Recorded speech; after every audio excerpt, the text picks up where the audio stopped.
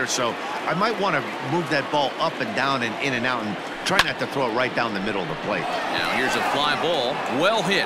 Looking up is the right fielder. Gone!